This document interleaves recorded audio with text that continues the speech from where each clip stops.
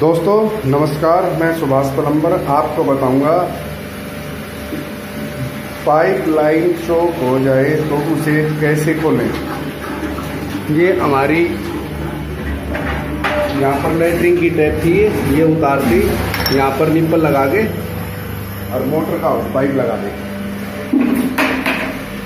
Motor लगा ले और दो बाल्टी पानी डाल दे।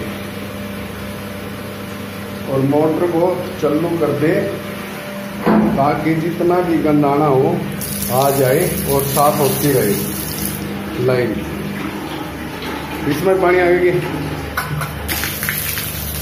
अब ये लाइन ब्लॉक हो चुकी थी। इसको हम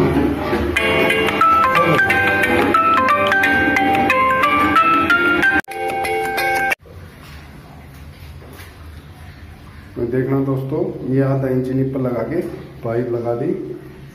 ये आउटलेट है, काले वाला वो सफ़ेद वाला इनलेट पाइप है। ऐसे दो बाल्टी पानी की भर पानी भरने के बाद में मोटर चला दे और एक किक टैप खोलते रहे, ताकि सारा पाइप का गंद साफ़ हो जाए और पाइप अच्छी तरह से प्रेशर आ जाए।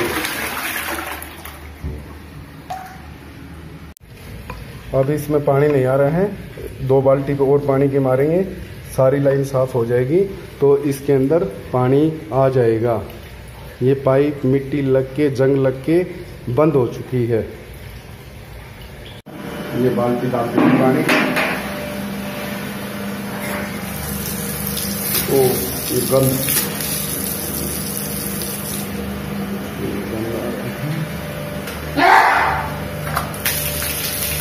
ये सब कचरा निकल रहा है। पाइप बिल्कुल बंद हो था ये।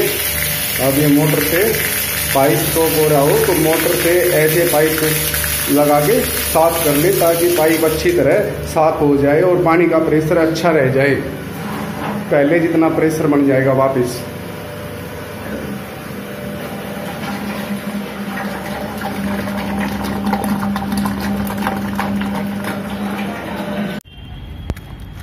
देखना दोस्तों, ये पाइप है ना, ये पाइप भी जीआई पाइप है, ये बंद हो चुका था। ये साफ़ किया है, हथौड़ी मार कर ये देखो, सारा का सारा गंद निकाल दिया। ये वाल है, यहाँ से पूरा का पूरा जंग लाग के पाइप बंद हो चुका था। अब ये प्रेशर से खोल दिया है।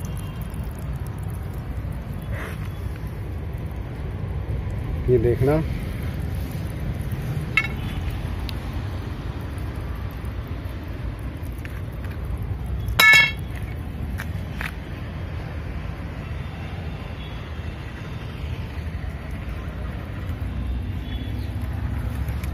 ये पाइप अब खुल चुका है। अब टैप के अंदर पानी आ जाएगा।